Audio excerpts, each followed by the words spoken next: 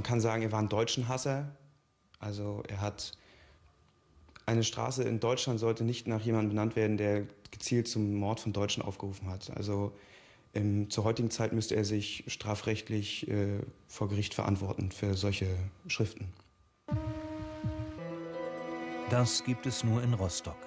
Eine Ilja-Ehrenburg-Straße. Benannt nach Stalins Chefpropagandisten, der Soldaten der Roten Armee zu Verbrechen gegen deutsche Zivilisten aufforderte.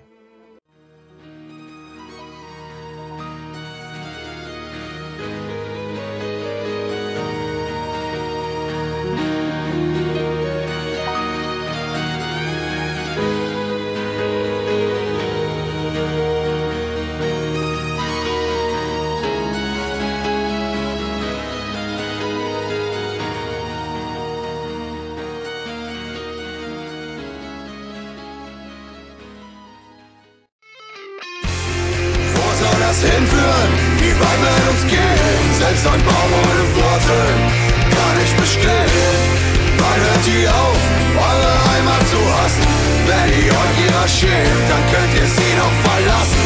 Du kannst dich nicht drücken, auf dein Land zu schauen. Denn deine Kinder